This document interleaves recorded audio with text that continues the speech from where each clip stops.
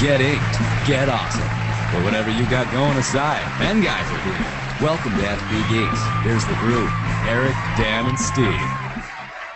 Hey, geeks. It's Tim Hoffman. What's going on? I was just eating some lunch. It was like a cheese steak. It's pretty good. I made it at home. Anyway, I was just thinking about pens. And then I thought about you guys. I like pens. I like you guys too. I didn't have any questions. I wanted to say hello. This is Fountain Pen Geeks Podcast, episode number 57 for Tuesday, January 29th, 2013. We are recording live on Saturday, January 26th. Ladies and gentlemen, boys and girls, geeks the world over, thank you for being with us today and welcome to another hyper fierce Narnar episode of Fountain Pen Television. My name is Eric, My name is Dan. And my name is Steven. And joining us today is our special guest, President of Pen Collectors of America, the Fountain Pen community's very own and very darling Lisa Anderson. Madam President, thank you for being with us today. Might I say you are looking as ever absolutely radiant. Well, We got a woo. wow. Thank you very much for having me on. Thank you for being here. What would you like to talk about today? Uh, the intro was phenomenal. Which intro was that? Oh, yeah, well, I guess we should mention that. I, I kind of sprung that on everybody. Uh, Tim Hoffman, uh, who in our forums is Maneuver and is also the author of all our bad cartoons, just called out of the blue during the week and left that message on our phone. And I thought, well, that's, you know, that's a funny message. We should probably play that. But I didn't tell anybody here in, in, in at FPTV land that I was going to do that. So it kind of just struck us all funny. And so I'm sorry if we giggled a little at the front at the beginning. But thank you for calling, Tim. That was a, a phenomenal message. We need more of those. Uh, anybody, if you're calling, if you're listening, uh, give us a call. Lisa. Yes. Actually, a quick note about Tim. He actually brought his whole family to the uh, Philly Pen Show. Did he bring coffee? Uh, he did not bring coffee, and we just finished ours, so we're going to have to hit him up for some more. But he brought his sister Maggie, and then on Sunday he brought his parents too. So he had his own little like pen posse. Pen Could you keep his could you keep his parents or, or, or just the coffee? I mean, um, um, His parents were lovely. His sister was awesome. So, you know, he's raised them well. He's raised them well. Yes, he's good stock too. And we should, I guess, mention that at the DC pen show, he brought all of us coffee. Yes, I don't think Dan was there, so Dan didn't get any coffee. But it was yummy. rumor is Dan doesn't much care for coffee. Oh yeah, I don't know who that's not that. Um, Lisa, you you wear so many hats. I think the hat you're wearing for us today is President of Pen Collectors of America. Correct. Uh, Can you tell us what is Pen Collectors of America, Madam President? You have the floor. Uh, the PCA is an organization of uh, a little less than a thousand members of uh, collectors of pens, ink, inkwells, um, mainly fountain pens, and we work together to um, keep the history of writing alive. Otherwise, uh, handwriting, cursive writing, which, as you know, is, is no longer taught in a number of schools, will be forgotten. And there are so many companies that have gone out of business, so many patents and inventions that have been made that are related to fountain pens. Um, and it's important to keep all that knowledge uh, active and available. Uh, speaking of knowledge, I completely spoke out of turn. You're not allowed to speak yet until you pay your fee, your guest fee. and uh, in case we don't know what that is, uh, generally speaking, especially for first-time guests, we charge a fee, and the fee is one obscure word. And I imagine that Lisa Anderson has come up with something pretty obscure. So, Madam President, Scripturient. could you spell that? S C R I P T U R I E N T. Can you say it again for me? Scripturient. Scripturient. Mhm. Scripturient. It's an adjective, if that helps. An adjective. Mhm. So you are very scripturient? Uh, on occasion, I have been known to be. Does it have anything to do with writing? Script is in there. It does, Scripture is very so, much so. is it an obscure word for a writer? You're close. Close. Anybody else have a guess here? someone who is sort of addicted to writing or has a strong uh, um, desire to write or something. Very, very, very close. All right. We'll just let that settle and move on again. PCA, Pen Collectors Yes. of America. is, uh, uh, I believe you said something about maintaining the history of writing? The history and, and yes, keeping it alive. And, and how do they maintain the history? Uh, we have the largest um, online library in our archives that is available to members, and it has ads, um, patents, uh, instruction manuals, anything and everything produced by um, all the different pen companies, um, magazine articles about different pen companies, about different products, uh, all available online in one place, and it expands all the time as we get new information in. And so these documents are are uh, older documents. You're saying, like yes, uh, pen catalogs from the 30s or something. Yes, there. Very very interesting. What else does Pen Collectors of America do? We are at um, all the major pen shows. We usually have a table at uh, pretty much every show, and then we do presentations for children. That's pens. Uh, pens for kids. Mm-hmm.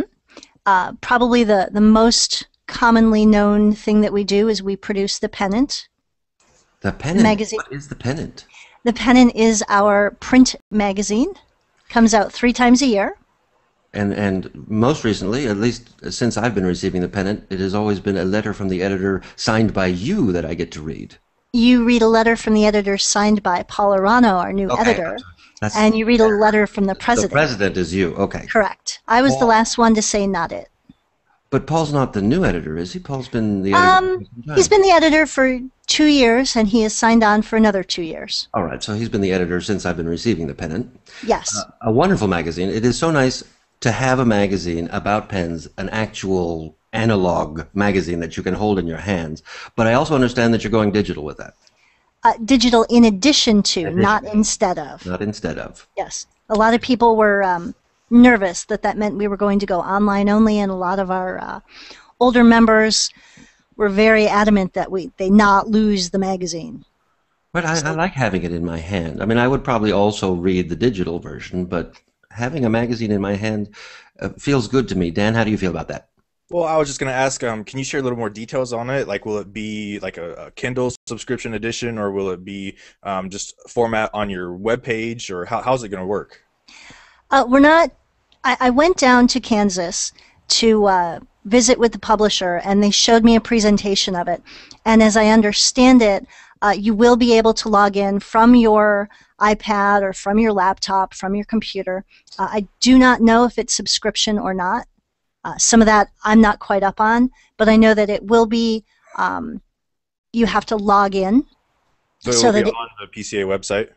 There'll be a link, yes. Okay. but there'll also be uh, a different link as well that you can go directly to but it's for members only so it'll be another perk of membership uh, so that if you want to read it online you can um, in fact it may arrive before your actual magazine sometimes Okay. Yeah, I definitely don't have a problem with that. Um, I know it's convenient if you're looking for something specific. You can usually search through electronic versions, and I really, really like that aspect of it. But like you said, there's really no replacing a, a physical copy. no we will not replace we will not do away with the uh, the printed magazine Very nice. I'm excited. yeah it'll be cool And uh, did the uh, PCA website recently undergo a change, or was that just maintenance? Uh, some of it was uh, maintenance. We had a little issue with a, a spam bot. Uh, so we uh, updated the security a little bit, and then we, while we were at it, we just updated a bunch of new things, added some new articles, uh, put up some pictures from, I think it was the Columbus Pen Show.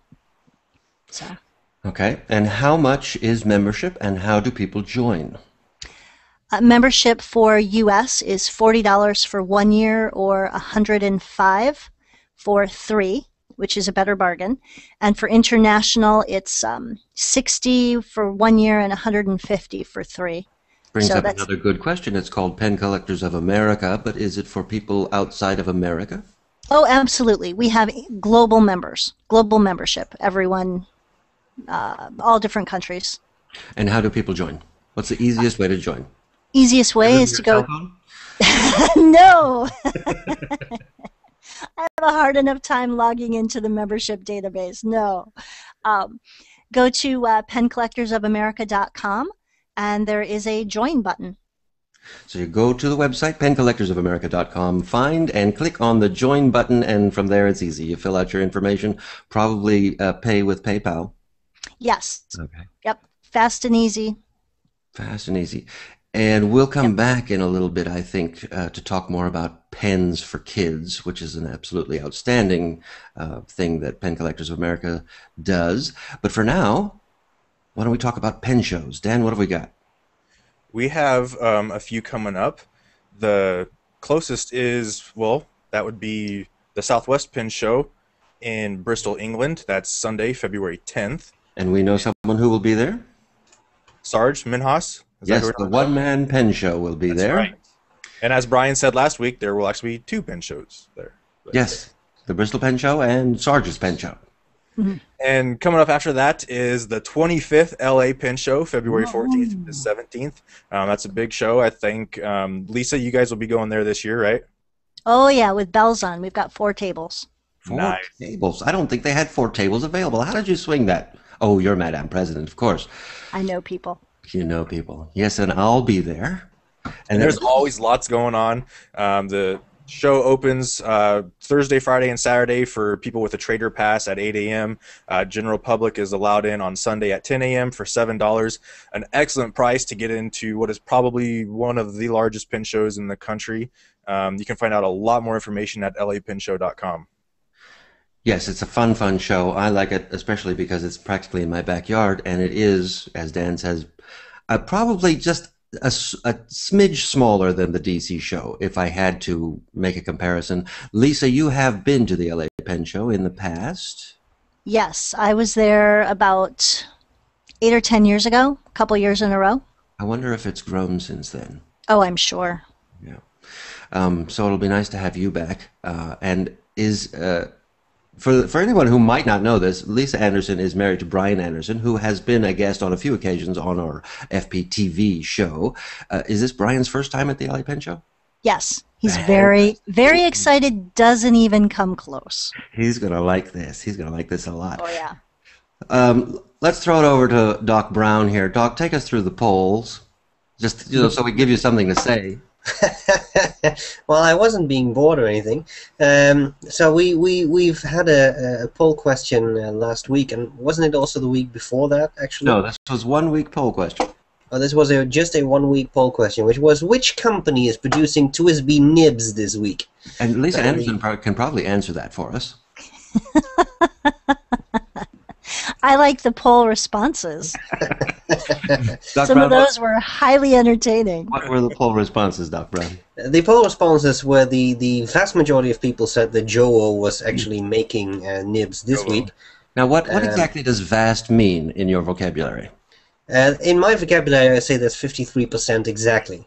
That's a vast majority, or is it? That is a, well, a vast simple majority. Yeah, well, it's. I mean, if you consider that the next category was Bock with just 15% of the votes, I would say it's a vast majority. I still, don't, Um, still don't agree, but go on. Continue, please. well, I mean, if it would have been 98%, it would have been a super vast majority. But I mean, that's it wasn't. So this is what I got, man.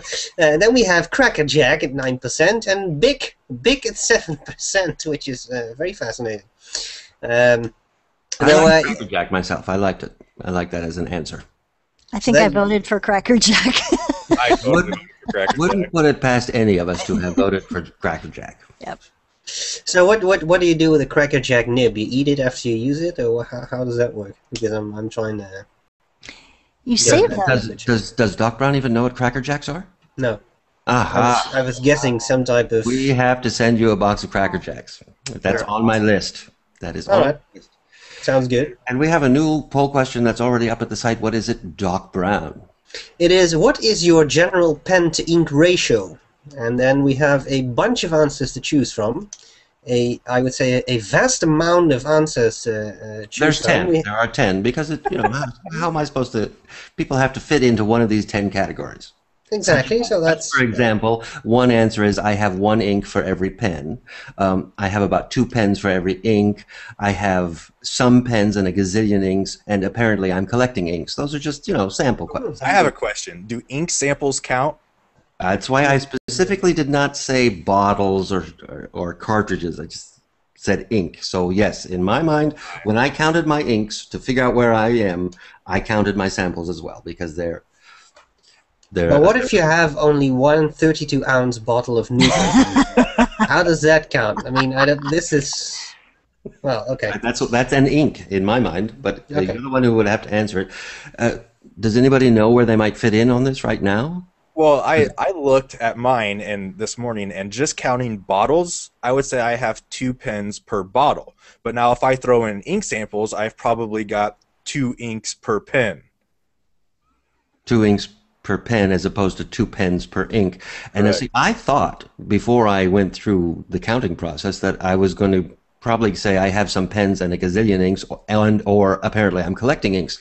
But once I counted everything, I've got about one pen for every ink, which I thought was which surprised me. Now I don't know, Doc Brown. I, I just picture you with a wall of ink that's off camera. We never get to see it. No, that's no, no. My, my ink is all stuffed in drawers. Um, I, I think uh, I, I- I think I have way more pens than I have ink. And Lisa, Let's. Yeah. you don't get to count the, the, the inventory. No, no, no. This is just personal. I probably have, because that'd be a completely different answer. I have. I'm collecting ink for that. Um, probably Just guess, yeah. two pens for every ink. It's either one to one or two to one, but I have a lot of ink. Oh, so- how much ink could you possibly have? We know that uh, Brian has admitted to having stopped counting his pens when he got to 1,200, which means he's probably up to at least 2,000 by now. And you have married him, and we've all heard you say it what's his is mine, what's mine is mine. You have well over 2,000 pens. You're saying you have about a 1,000 inks? No, I'm saying that I'm not saying I have that many pens. I have my own tr- uh, my own drawer in the pen chest. Um, but I don't count I don't count Brian's. I mean, he collects those hard rubber things. Those are like tires. the Like tires. pens made out of tires. I Uh, have no interest in hard rubber. So my own pens uh, in my own tray, I'm probably either one pen to one ink or two pens to one ink. Well, Brian, I know you're listening, so you heard it here first. She has no interest in your hard rubber pens. He says, It's Oh, a lie! knows no, he knows that and he loves it. I will But- mention that the idea for this poll, I'm sorry to have cut you off, Madam President, you were saying? Uh, just uh, the auroras are mine. Yeah, that comes through on your podcasts. Don't touch my Don't auroras. touch my auroras. The idea for this poll question came directly from Adam, who made a comment in the RiKwill wall hanging pen cases post. He said, I hope they develop a case for ink bottles. Uh, my ink collection outnumbers my pen collection. And he suggested that we make that a poll question. And here it is at the website, even as we speak. Mr. Smith, Yes, you're going to update us on the January month long Delta Fusion 82 giveaway, are you not? I am, and All it's right. coming to a close quickly. Um, next week will be February 2nd, is when our show goes live, and we will be drawing the winner then. So there might be some time to get your entry in. I mean, if you're listening to this live, you could probably priority mail it or, you know, whatever. Um, but um, I think most of them are in. It seems that the most popular color for the Delta is black, white, or fuchsia of the seven colors available. So it was interesting to see that. So after black and white, fuchsia is the top color. Yep. Interesting. Yep. Uh, How Cool. could that be? I don't know. I like, Some nut here has a fuchsia Delta Fusion 82. I like the blue. Yeah, is you know the brown one. I mean, I'm not a big brown fan or brown pen, you know, but like, I mean, just I think any material is going to look excellent because it's just so complex. It's got a little bit of shimmer in it, and I mean, there's a lot of depth to it. I don't think you could pick a bad color there. And uh, do you have any idea, and can you share it if you do, about how many entries we've received for this pen? I, I've not counted them up yet. Um, I I know it seems like we've got more than at least the past two or three entries. I mean, I've got a nice box full of entries that I've, I've read through. So So it's a popular, popular giveaway. yes, it is. Good. Now, uh, we're going to go somewhere else. Uh, we're going to go and have. I mean, like another room, or should, We're should we have move? Doc Brown what- what- talk to us. Uh, uh, but while you do, before you talk to us, I'm going to give you an intro. People have asked me to review an ink that I don't particularly like. This is it. All right, so you heard it here first. This is an ink that he doesn't particularly like.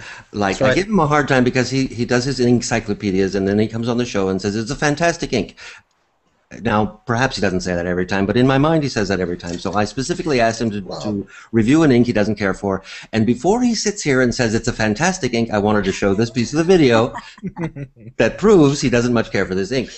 Doc No, that's Brown. right. Yes. Well, you see, the, the, the, the problem with the ink is that it is extremely dry.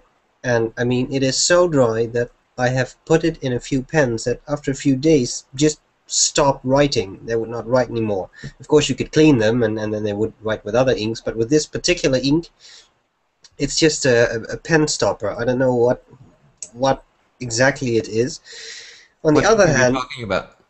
we are talking about Noodler's Manjiro Nakahama, aka Whaler's Sepia, or Whaleman's Sepia, uh, which has a lot of interesting properties. I think you can pour bleach on and then it turns orange or something. I'm not in the habit of doing that with my writing, so that doesn't really matter a whole lot Some to me. Some people do that. Some people do that. some people do that. I know. I mean, there's a whole bunch of people out there just write pages and then pour bleach on and see what happens. And apparently, with this ink, you're in the right place. Um, it is a very well. It's it's a sepia, so it's a very dark brown, and when it dries, uh, it it turns somewhat grayish into a dark gray. And I I um, uh, Nathan Tardif has a, an extensive video on this, uh, which uh, in which he shows all this and discusses a, a lot of stuff. And he does pour bleach on, he does do all the stuff. So the, my my big issue is just the dryness. Now, funnily enough, when I was doing the writing samples, uh, there was no dryness at all. The ink, uh, well, just seemed to flow pretty good, and pretty well, and there was no odd stuff going on, and no particular dryness. So, I don't know whether all of a sudden. I, I put it in one of those magic vials you you sent me, the glass ones. May, I don't know whether that suddenly made it wetter, uh, just They putting are, it in there, are. and then all of a sudden it's They it's magic. magic Yes, they are magic it's vials. Poof, and it all works. But in any case, it's apparently it's nice. It can be nice. Uh, it depends a little bit on the paper, and I guess this is an ink that you might want to put in a pen, write a letter with, then take it out of the pen, and apparently when you just put it in, it's it's not that dry yet, or something. I, I really don't know. You don't know, but don't uh, now it's a sepia ink, but it dries gray. Yes, Wouldn't that be a well great? that's that's what I would say. Yeah, but I guess Whaleman's Gray didn't didn't sound that cool. And you so- mentioned Nathan Tardif, Yes, who of course uh, is Noodlers, makes all the inks, apparently himself by Noodlers, hand. And you have recently, in your Inkcyclopedia reviews, uh, Yes. Started to include the Tardif test, the Tardif test. where you stick a correct. knife, a pocket In knife, in the ink, and then smear it on the paper. And that's fine. That's fine. We can we can see the Tardif test. But what we're really interested in, Doc Brown, is Mm-hmm. the Brown benchmark. We know that you can do something else. You've got all those Uh-huh. samurai swords on the wall behind you. Certainly, you can come up with something. With So- a sword. I don't know. You Well, I guess- the world's largest prop room all around you. I know That's you can find something. So that's what I'll be looking. I shall uh, I shall endeavour to, uh, to to to come up with something that is uh, the brown benchmark. I'm absolutely certain that this is going to work out. I mean, I could. I've, we, we've got two rats right here, so I guess I could dip their tails in the ink and, and smear that in the paper. Or, Oh, that's a good test. Let's see if Lisa Anderson actually watches FPTV. Doc Brown has two rats. They're pets. What are their names, Lisa?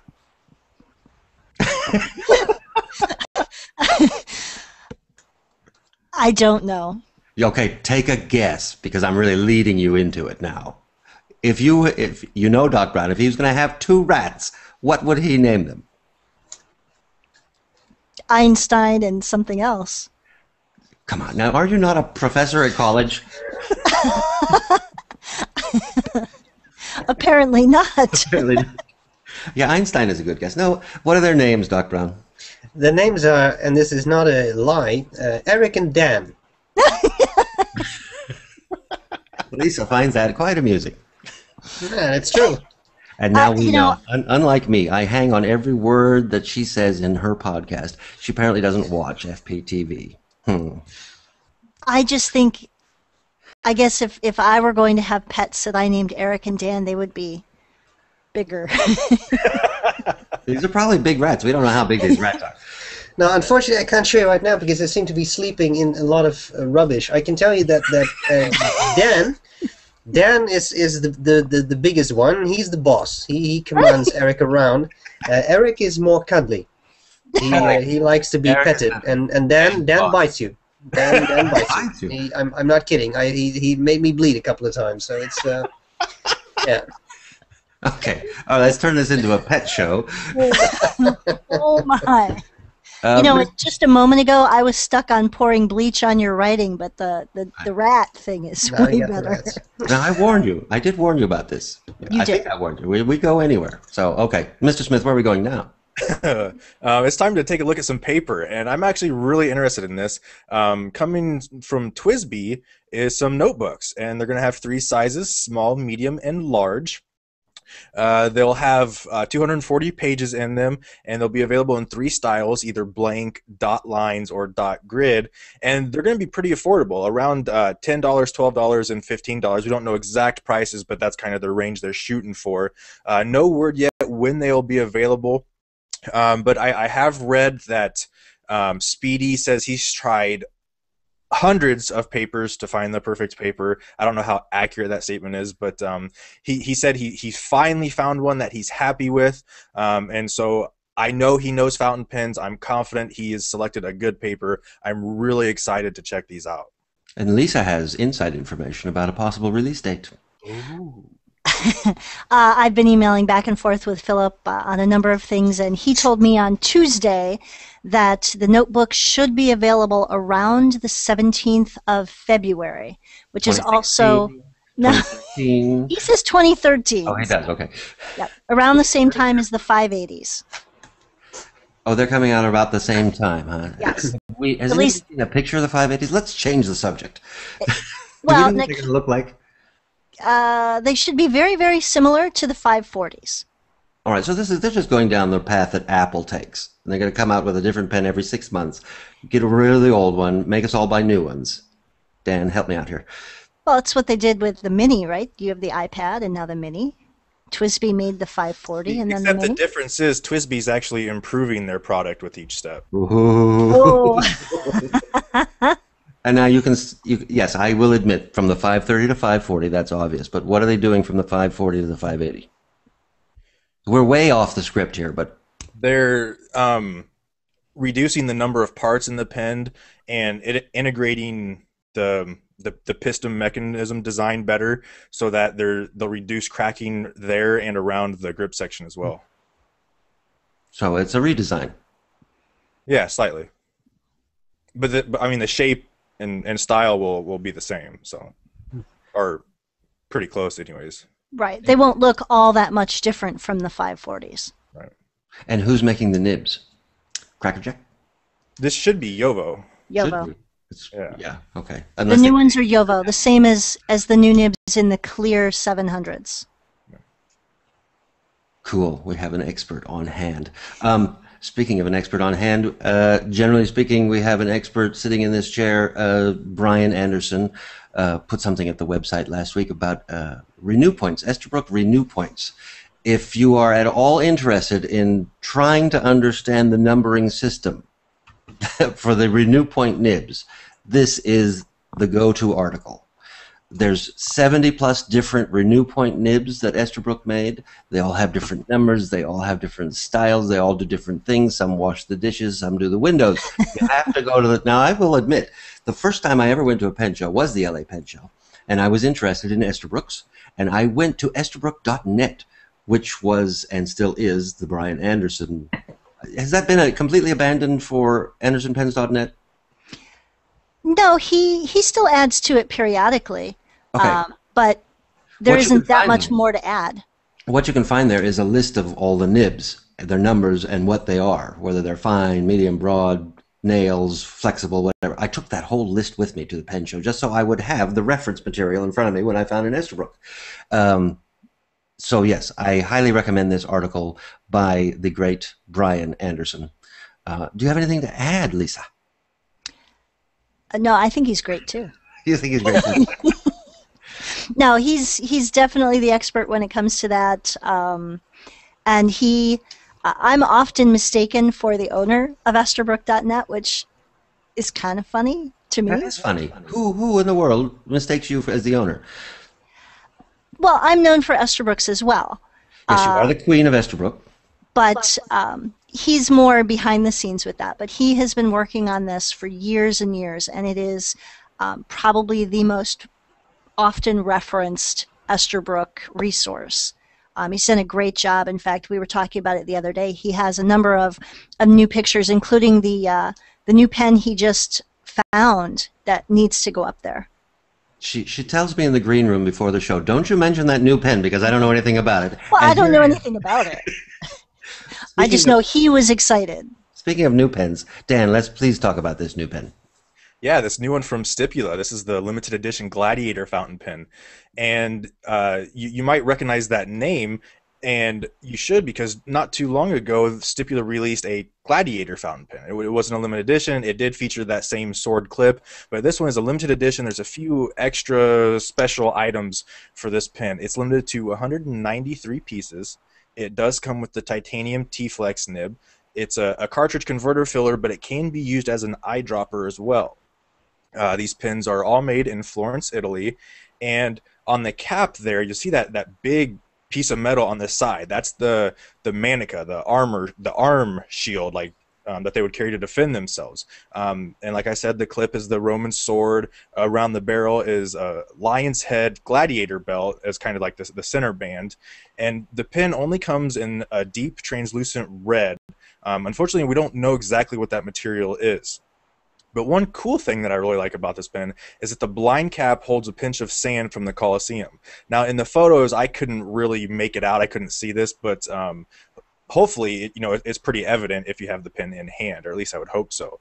Um, so, um, the the limited edition gladiator um, it, it could be your trusty companion as you wage battle in the arena of everyday life i love that line uh, the price is pretty steep though msrp on this is $795 street price 636 not even caring about it priceless Yeah, this is the gaudiest pen in the world.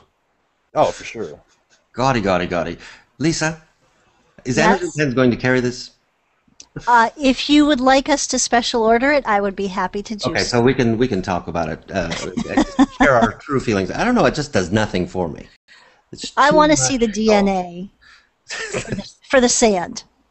The DNA. right? how do we know they just didn't go out to the parking lot and grab a full of gravel The Like- last the last time I was in Rome, I think the floor of the Colosseum was gone, and there you can look straight into the basement or the cellars, I should say.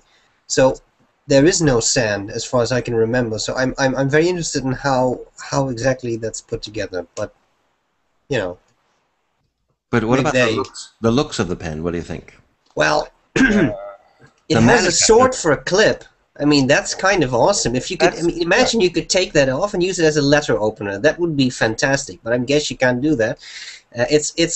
I Yeah, I'm agree sure you you. could. This- You just couldn't get it back on. you get it back on again. I, I mean, super glue. It solves everything. But in any case, it's it's the um, uh, it, it- the the uh, I, I I like how this is so tacky that it actually becomes fun.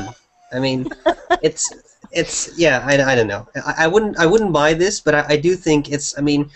People who like Rome, there's a lot of the, the whole scene of, of people who collect Roman swords and Roman armor and stuff. This would this would strongly appeal to them, I guess. So I guess yeah, a- that's true. They only have to find 193 people. We had a question in the chat asking if, if Delta wrote the marketing material. The marketing material is just. Dan said he liked it. I just found it very offensive. I was thinking the same thing, Dan. It's hilarious. But maybe it's the same PR firm that does it. Perhaps, perhaps. Another expensive pen coming up. Yeah, this one I actually do like. Um, I'd probably Very never nice. buy it, but um, you know, Graf von Faber-Castell they make a lot of gorgeous pens, and this one is the Intuition and the Platino Wood series. So it, it comes with their, their large handmade two-tone 18 karat nib, which I've found to be excellent nibs. Um, seven different sizes, extra fine to double broad with oblique medium and oblique broad available. It comes in three different woods: a reddish, a reddish brown uh, Pernambuco wood, a dark brown Grenadillo wood, and a matte black ebony wood. Um, it, it is an expensive pen. It sells for eight ninety five. Um, the one very intriguing aspect of this pen is that the the barrel and section is all one piece. So when you fill it, you actually take off, you remove that whole barrel, and then the converter is attached to the section which is attached to the nib, and that's how you fill it. So there, there's no possible way you can get ink on the wood and, and stain it or anything Oh, like I bet I could get ink on that wood. well, yeah, you probably could. You're always an exception. Um, and, and I actually posted a picture of the pin apart in the comments at this post so you, so you can get a better idea of how it feels and how it works. I'm not exactly sure how you get the the nib and the filling mechanism out of the barrel. I think it's just threaded, and so you would have to get a good grip on the nib and feed, which is going to give you inky fingers. But you know, you can always grab a, a tissue or a rag or something like that to, to pull that. I think uh, when uh, where the blind cap would be is a little hole, and you just put the pen in your mouth and blow, and the whole thing shoots across the room. Oh, that makes sense. Yeah. So it's a blow filler. That's a blow filler. Lisa, let's your thoughts on this pen.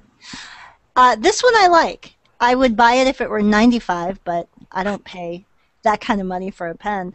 I like the um, the wood and metal combination.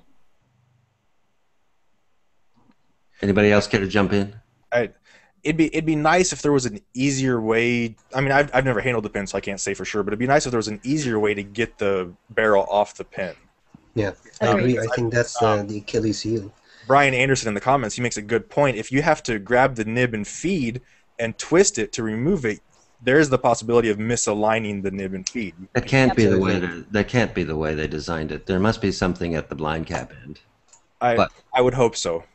Yeah, but I'm just until we know for sure. I'm going with the hole in the blind cap that you blow into, and I think it's a beautiful, beautiful pen, and I really like their pens. I've just never been able to afford one, and this one doesn't look like.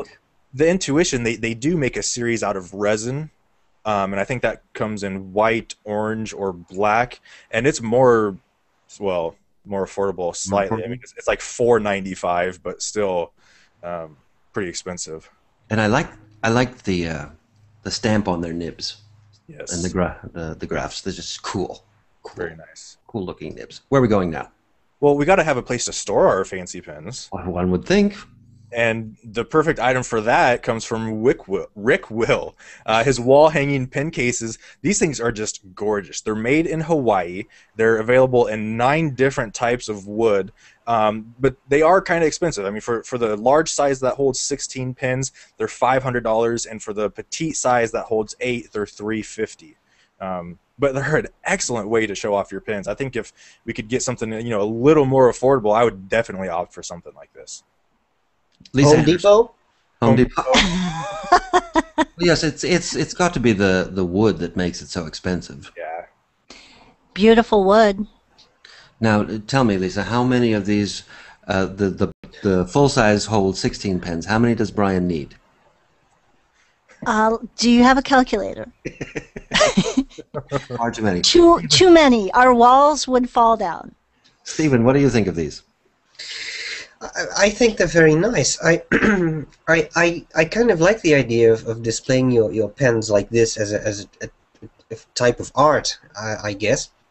I wonder what would happen if you would have some. Um, I'm trying to be the devil's advocate here. I, when you have some really nice old vintage hard rubber pens that that um, Tire pens. yeah, tire pens. Would they would they discolor if you if you know you, you, you put them? I don't know. The sun is probably going to hit them at some point. Would that would that have any the sun effect? will hit them? Of course, yes. Uh, uh, unless you know So- it's UV protected glass, which I doubt. But no, Which you I don't doubt want, too.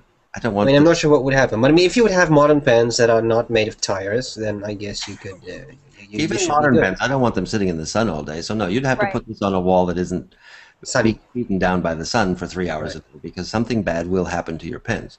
But I just like it because you can see. I, in my mind, I would put pens that are not in my rotation at the moment. So right now, they are in my desk drawer, and I know they're there and they're safe, but I don't get to see them, and they're beautiful, and I like to look at them. Sometimes I just open my desk drawer and say, "Hello, pens." But if they were just hanging here on the wall next to me, I, you're right. It'd be like a like art, art, pen art. Um, that's what I like. Plus, it doesn't take any space on your desk Yeah. because they, they do make, of course, uh, boxes, pen boxes that you can put your pens in, but then you're you're giving away real estate. No, I like these. It's on my list. I already have one on hold. It's a Koa. Wow. Dan, do you have the dimensions of the two different sizes? Big and small. Uh, no, exact dimensions were not given. Well, they don't look all that big, so they wouldn't take up that much space. No, no, your wall your wall can hold at least ten of these. Easily. Oh, Dan, let's talk about something I know must have you very excited. Yeah, are you talking about the new TWSBI VAC 20 ink bottle? I am indeed. Yeah, this, we've been waiting on these for a long time. Um, they they're finally available. Um, Twelve ninety nine will get you one of four colors, I believe: black, blue, uh, green, red, orange. Is that five colors? That's five Yeah. colors.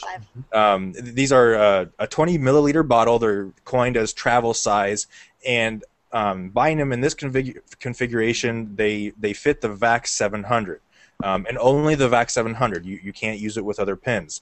Um, well, you can if you take the lid off, but the, the design here is that the VAC 700 screws into the cap. It's it's threaded, so the same threads that the cap screws onto is how you attach it to the ink bottle. And you leave the nib on the 700, Yes, that's correct. which is Um, not what it that the, for the 500 and the what is that bottle that they use for that? The Diamond 50. Yeah, the Diamond 50. For That, that, that you was take the nib the section off. correct. Okay. And so this this is designed to get a, a one shot full fill in the VAC 700. Um, you can do that with with the special you know vacuum filling instruction thing that you got to play with and can end up in a big mess. With this, you don't have that issue. Um, and the really neat thing about these is if you have a Diamond 50 bottle, the caps will interchange. So if you wanted to use this bottle to fill your 540s, you could easily do that. And if you wanted a larger bottle to fill your VAC 700s from, you could very easily do that. Eric, are you okay? I'm laughing because I'm having some sort of a memory of Doc Brown Yeah, I know. with some Okay. sort of a, a, a what Oh, was his, that? his rocket, his uh, He made a rocket out of the Uh, Visconti Yeah, so- so- So this is what happened. I had a traveling inkwell, bomb. Which is this, made by Visconti. You put ink in there, and you put a pen on. I don't have one right now, but I mean, you, you, you take off this cap. There's ink in there. You put on the pen, which just slides in there. This is a, this has a tapered thing inside, so the pen is sort of it fits snugly. Then you I make sure the cap is on there this time, and then you turn it around, and then you operate the piston or the, the converter, whatever, and it, it draws up ink, and you get a full fill. And someone, won't mention any names, but someone suggested to me that I should do that with the VAC 700 and get a full fill. I do this, I turn the thing around, I push the plunger. But see, you pulled the plunger before you attached the pen, didn't you? So you no, I don't think so because there. I didn't. I didn't. I didn't really think this through. I thought, you know, this sounds awesome. So I, I do that. I push the plunger back, and it goes bang, and it flies off. And I sort of dodge it, go like, and it, it, it flies past me, and the ink just drops down. And uh, well, uh, let me put it this way: I have turned the shirt into an ink cloth because there was nothing I could do. So uh, that's just the the rundown. I'm going to send you one of these right away. But you Yeah, have I- to videotape. You have to video your your playing around with this because we're going to send this bottle flying across the room. We want to see it in slow motion. I, I can definitely do that. Yeah. We're going to see Stephen in one of those Tyvek suits, like on Breaking Bad. yeah. No, those His are for head covered losers. in I just, you goggles. know. I think I think Stephen likes being showered in ink. Yeah, I mean, it's. You Yeah, I mean, it, it fits the character, I guess, but it's. Uh, So, and twelve ninety nine. Dan, how many did you order? I've not actually ordered any yet. Really? I Yeah. thought you were going to be chomping at the bit for these things. All right, then moving right along. He's waiting till we get him in. That's right. Uh, you're going to carry them, right? Oh, absolutely. It's TWSBI. Wh- And when do you expect him to come in, Lisa? Next week. Okay, Next week. very nice. And I, I think everybody in this room has a VAC 700, do we not? yep. Yep, I So- have this Sapphire. It's actually I have it right here. Yeah, this looks just like mine. Just like mine. Fantastic pen. Now, Stephen, is yours blue as well? No, no, I don't like blue pens. Uh, I, You went with I- the I- amber? No, you I- like I went- orange pens? I do like orange pens, but I went with the the smoke. I think the gray um, gray version. Yeah. Gray version. Anyway, moving right along. We're back to you, I, I kind of like, you know, I I don't like the blue, but I may like Fifty Shades of Grey, so I thought I, I'd, I'd oh my. I don't know how to Obviously. segue. How do we Move- move segue back? Well, this is bad because now we're talking about kids. Kids. Right, yes. Let's, let's talk about PCA. Even- Earlier, you mentioned Pen Collectors of America has a Pen for Kids, Pens for Kids program. Can Correct. tell us about that. Pens for Kids program, um, we we know that a lot of parents bring their children to pen shows. Uh, either they don't want to leave them home, they can't get a babysitter, whatever. So we developed um, also for education, but it, it works out for entertainment as well. Uh, we have a presentation that we give at most of the shows whenever there are, are enough children present, and it's part education, part entertainment. It's very interactive. So we take the children through uh, a history of writing, and um, we make the connection between the actual handwriting and uh, typing and, and you know everything that they do now forms of communication. And then at the end of the presentation we give every child and the parents if they're there a free fountain pen. And then we help them we teach them how to uh, install the cartridge how to get the pen to start writing. And then the younger children can either just draw you know just draw doodles or their name. And the older children uh, we usually ask them to write a thank you note usually to their parents or grandparents whoever brought them to the show And this is highly popular, I understand. Oh, very much, very much. Uh, often we'll give out uh, a prize. Sometimes uh, different members will donate a prize, and so we'll give that out um, at the, the presentation, and, and kids love it. They get a free pen. Where do the, the free pens come from? Uh, sometimes we buy them. Uh, sometimes those are uh, some pens are donated. Um, sometimes the pens that are donated are um, piston fillers or, or something that we really can't give to the children. The idea is to give them something a little uh, cleaner and easier. Okay. Um, we've we've had some donated from from lots of members, but they don't always work as well. Sometimes the the cheaper ones um, are harder to start. Uh, so we, we sometimes I buy them. A, a Pelicano Go, and if I wanted to donate that, how would I do that? You would just send it to to me. Um, I'm the, the keeper of the pens, Can and then I we find that address on the website, or do I have to contact you directly? no, it's uh, PO Box nine nine two, Appleton, Wisconsin five four nine one two. We'll have that in the show notes. Watch all these pens arrive. A very, very important question now. What is your cat's name? Uh, we have two. Oh, the, the one that just walked by. Uh, the black Reddish. one. Or, oh, No. that's the orange one. Yes. Uh, that's Crash, named after a video game. And the other one's Crash name? Bandicoot? Crash Bandicoot. My son Ah. named him years ago. Uh, the other one is Brooke, Brooke as in Crash. As in Brooke, as in Shields. Esther Brooke. Brooke, Esther Brooke. So you need one that's Esther and one that's Brooke. What happened to Esther? Okay.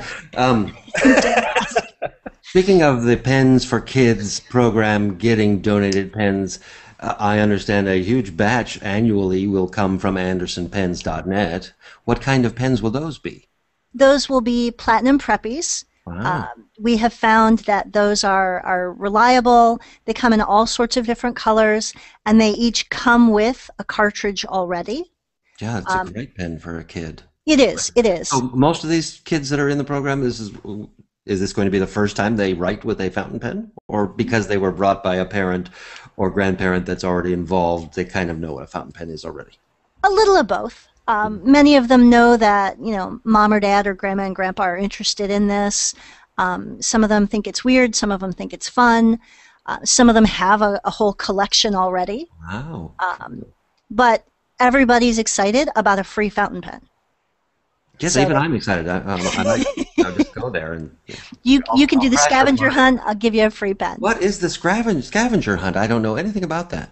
Well, Ah. the other thing that we do, uh, and another part of the reason that um Brian and I are donating, uh, we have a standing donation that we've given so that the PCA doesn't have to buy them anymore, is we do a scavenger hunt.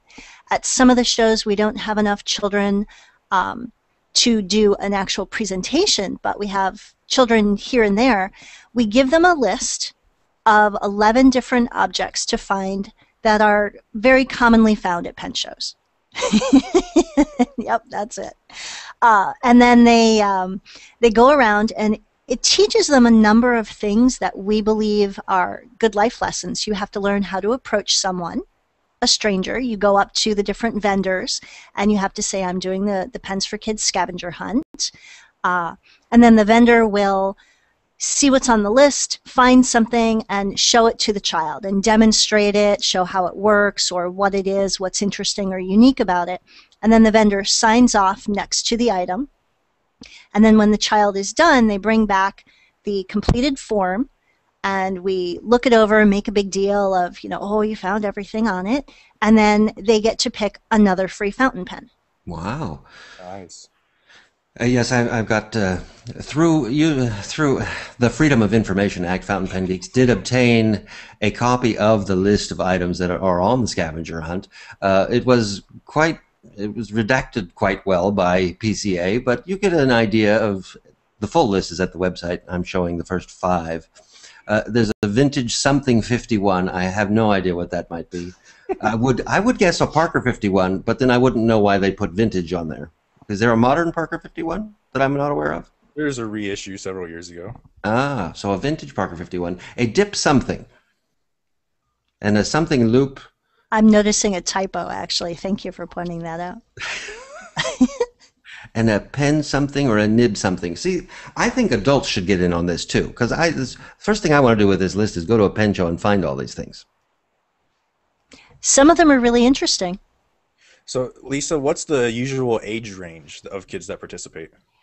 Uh, usually anywhere from about three or four up to about 12 or so. Once you get older than 12 or 15, um, 12, 13, 14, you really don't want to do it um, because what you you know what you get is not um, you know it's it's a, a four dollar pen. Uh, if you're 12, 13, 14, and you're a pen collector, you've probably cr- progressed, excuse me, on from there. But uh, seven, eight, nine, they're all excited about it. And um, if if somebody joins Pen Collectors of America uh, and, and pays the membership fee, a portion of that fee supports the Pens for Kids program, yes or no? Uh, yes. That was a qualified yes.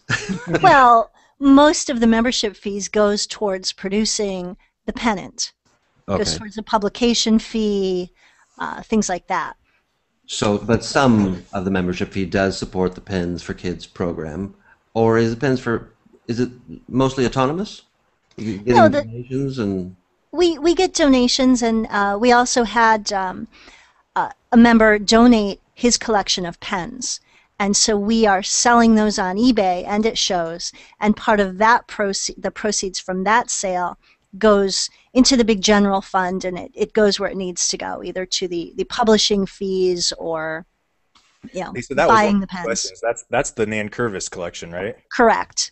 Um, how often do you list pins on eBay? Uh, Bill Hong used to be on the board of directors, and he handled that.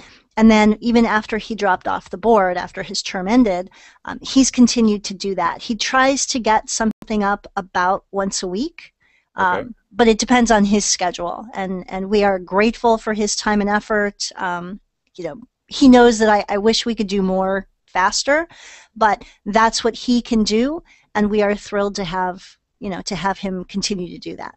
And is, is, there way? I'm sorry. Is there any way of people to be notified other than say following your eBay account? I mean, Twitter or the, the the website or anything like that? We put it on Facebook. Bill okay. usually posts something every time he puts up a new pen, uh, and then usually Janet or Julie will tweet that as well. Okay. Very good. So if you follow us on, on Facebook or Twitter, uh, you're notified that a new pen goes up. Um, none of them are spectacular rare pens, not anymore. Uh, but they're all just good users, good writers. And um, we actually got the first portion of the donation, and we have another thousand pens coming to us down the road. Wow. But you can also follow them on eBay, correct, Dan? You follow a seller on eBay, don't you? Right. You can subscribe to a seller and be notified when they list new items. Right. Okay. So you subscribe to the. Do we know the PCA's seller name by any chance? I should know that. I think it's PCA pens. PCA pens on eBay or follow them on believe so. like them on Facebook, follow them on Twitter, buy some of these pens, support PCA. So if I'm a member and Yes. I, I I am supporting, I'm I'm getting the magazine, the pennant, which will eventually also be in digital format. I have access to this incredible library of what are we calling the library? Vintage material. We also have, well, it's not just vintage. We also uh, just negotiated with Penworld so that we will have some of the old uh, and even current Penworlds online. Very nice. Oh, that's very nice. Yeah, uh, we worked with Susan Bowen to do that, and uh, we have you know all the issues of the pennant, of course, um, and then we also have some some really interesting pages from old pen worlds with uh, cartoons on them. So those are kind of fun. Bad cartoons? No, these are good cartoons. Oh, these are good cartoons. All right. Sorry, so- Tim.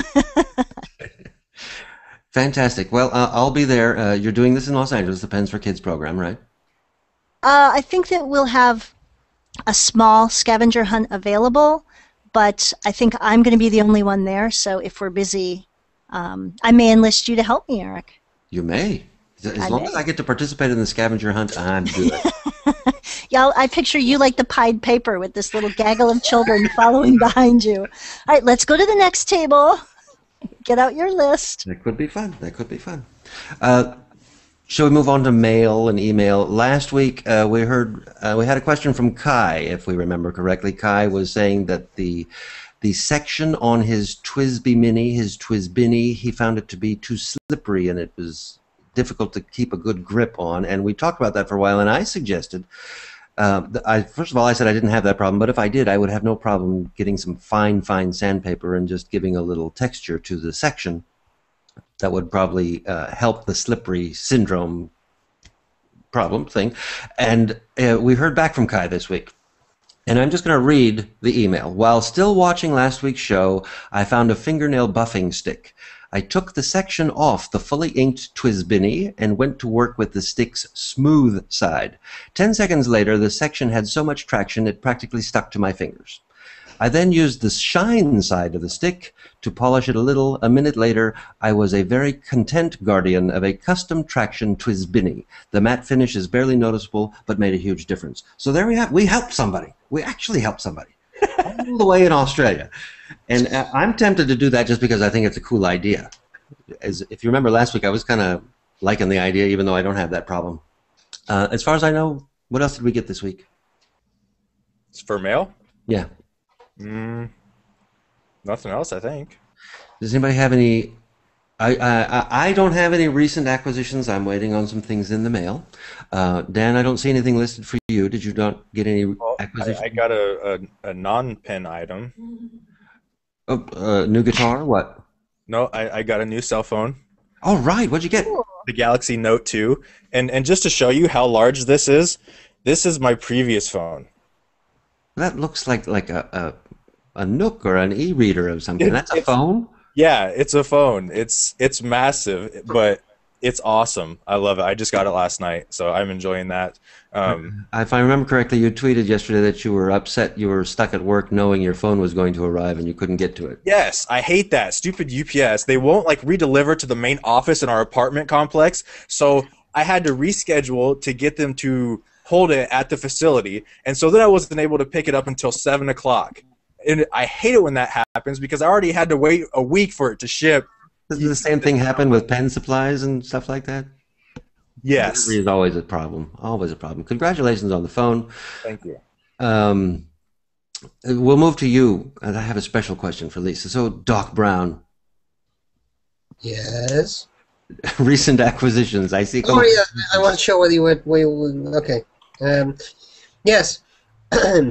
Someone that is Lawrence. Lawrence was kind. He's not Lawrence of Arabia, by the way. Should be honest. was my another Lawrence, another Lawrence from the U.S. was um, uh, kind enough to, to send me a a, um, a Pilot Metropolitan, um, which is nice because I, I wanted to try that out uh, for a while.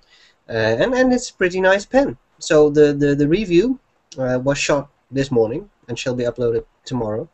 Uh, it's a fifteen dollar pen, if I'm not mistaken, and it's uh, surprisingly decent. I would say it's it, it feels I don't decently know. made. Is surprisingly decent a compliment or an insult? Yes, no, no, no, no. It's absolutely a compliment. I, I wasn't. I mean, w- w- w- for example, um, there were some you know cheaper fountain pens out there. When you you you pick them up, they feel cheap. They just you know they they feel plasticky, whatever. And this really feels like a pen that could actually be a bit more expensive. It's it's a lot of metal, so it has some weight to it. Uh, I like the way it, it's it's. I mean, it has a good shape. Uh, you can exchange the nibs with the Pilot Plumix, for example, giving it an italic nib, which is and that's also a fairly inexpensive pen, so it, it's not you know very costly to do that. So that's that's pretty cool, I would say. You're It's having a- lots of fun in the pen world. Yes, ma'am? Sorry. It's a great writer for 15 bucks. Yes, I agree. That's uh, that's that's pretty cool. and there's something else listed by your name under recent Yes, I'm. I'm I'm I'm figuring out whether I can just reach for it. I cannot. Wait, here we go. We'll wait here for you. No, I got it. I got this was a sort of a suggestion from someone on YouTube uh, to to get this book, the Ultimate Book of Pens, which is um, well, the Oh. Ultimate Book of Pens, I guess. Uh, it's it's a large book. I mean, this is a serious serious That's book. huge.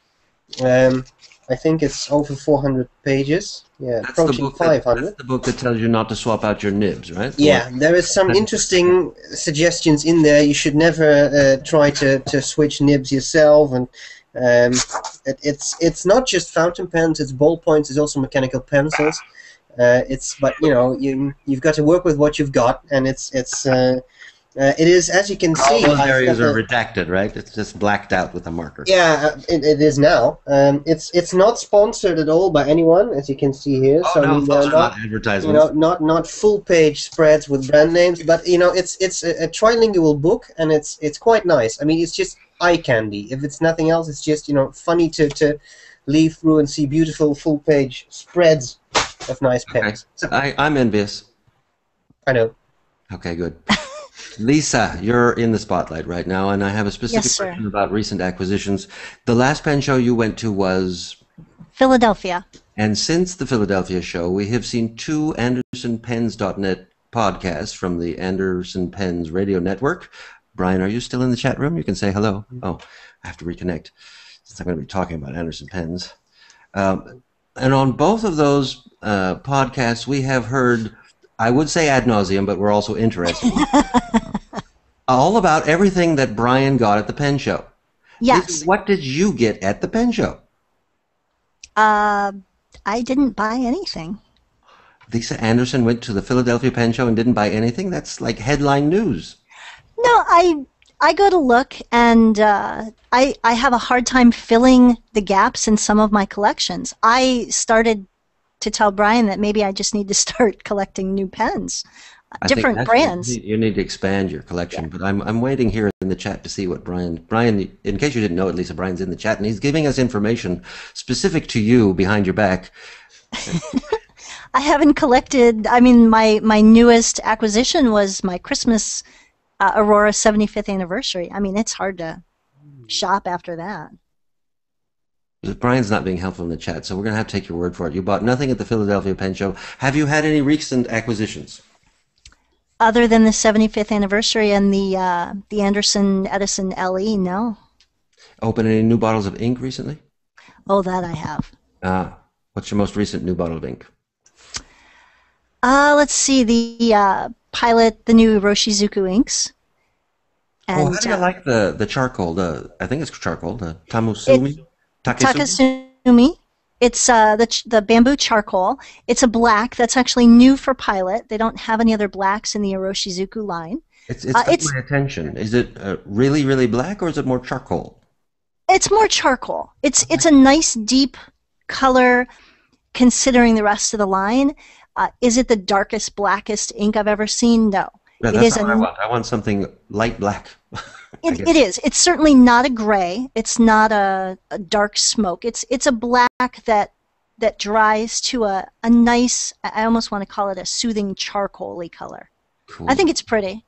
Yeah. I think our swabs should be up on our site so you could see it, but uh, it's it's a nice color. It's not, like I said, not the blackest thing that's out there, but um, it, it works well with the rest of the line.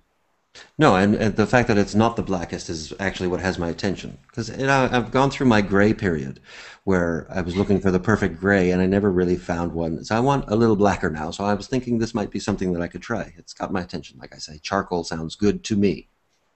So did you actually go through Fifty Shades of Grey, or just? There we go again. There we go. I probably did. You know, I, I filled out several of those ink notebook journal type things, uh, and I, I finally settled on the uh, Iroshizuku. What is it? The gray one, that whose name escapes me at the moment. Lisa, do you happen to know the gray one? The, there are two. okay. You're gonna quiz me now. I No. remember. Who who Uh, remembers? it's, it's let, let's just call it Iroshizuku Brian Gray, and then we sort There of. we go.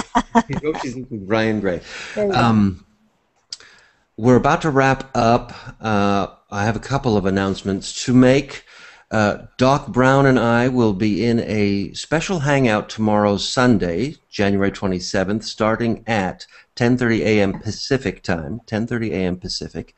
All we're going to do is have a couple of pens with us and fill them with ink and talk about them and shoot the breeze for about a half an hour.